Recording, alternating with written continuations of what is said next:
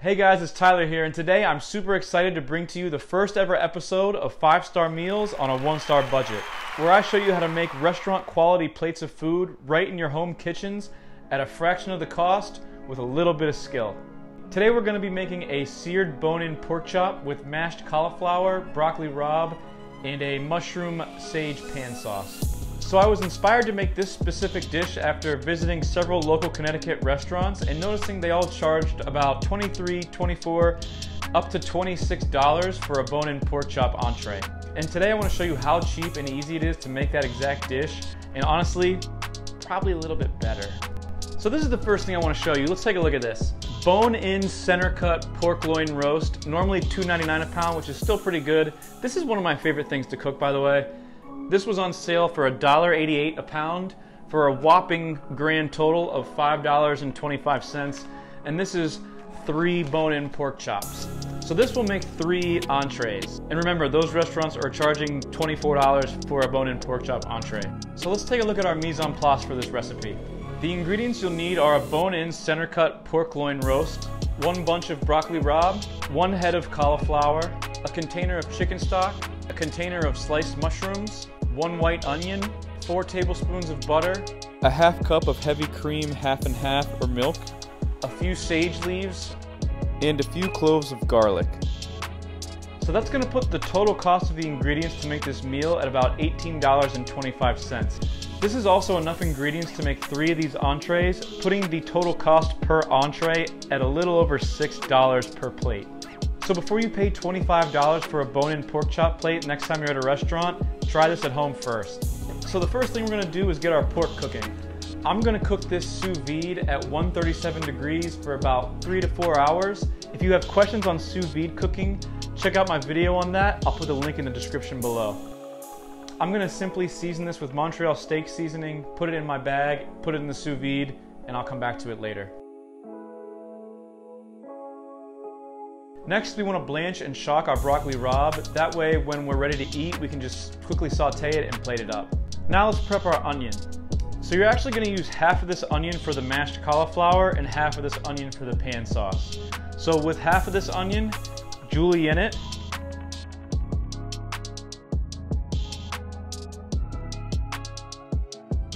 And the other half, dice it.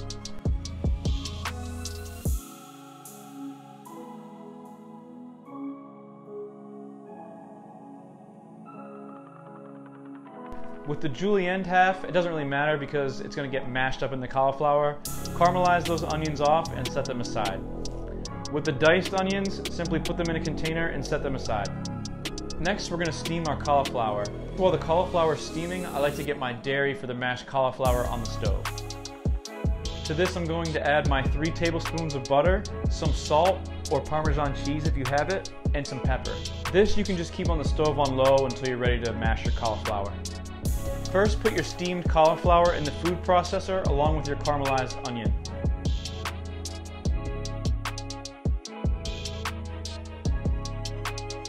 Blend it with as much of the dairy liquid mixture as you need to desired consistency. One thing I'll say is always go less because there's nothing worse than like soupy mashed cauliflower. You really don't need that much liquid. If you need more liquid and you don't want to use dairy, add some of the chicken stock. Once the cauliflower is mashed to your liking, I like to store it in a freezer bag. This keeps it warm and makes it really, really easy to plate. Now that our pork loin roast has been in the sous vide for three to four hours, we're gonna take it out and slice those bone-in pork chops.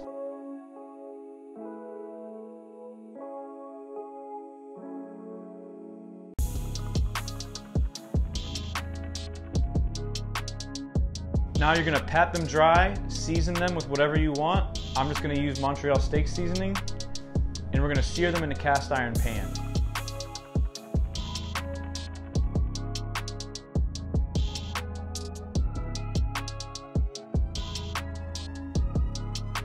Now place them aside to rest.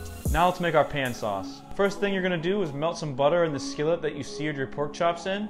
Then we're gonna sweat down our diced onions and sliced mushrooms until they're softened up a bit. Once they're soft, add our diced sage leaves, chicken stock. I like to use just a tablespoon of heavy cream and a tablespoon of Dijon mustard. Let this reduce down for a little bit and right before serving, you're gonna add two tablespoons of capers just to set that over the edge. Dijon mustard and capers are two things that I recommend always having in your fridge, along with some other items which I'll be doing a video on at a later date. Now let's flash our broccoli rabe in a saute pan with some butter, garlic, and we'll finish it with olive oil, and we're ready to plate. So the first thing we're gonna do is pipe some of our mashed cauliflower onto our plate. Add our sauteed broccoli rabe. Place our seared pork chop over the top. Drizzle on our pan sauce. And garnish with something green. I'm gonna use chives here. And that's it guys. So for $6, you get this plate of food.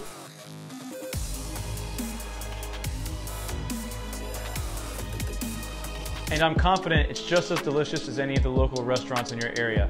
So please stop paying $25 for bone-in pork chops. I get it, it's convenient. But I promise you this is just as good, if not better. Try it yourself and let me know how it goes. Comment, send me photos, subscribe, cook food.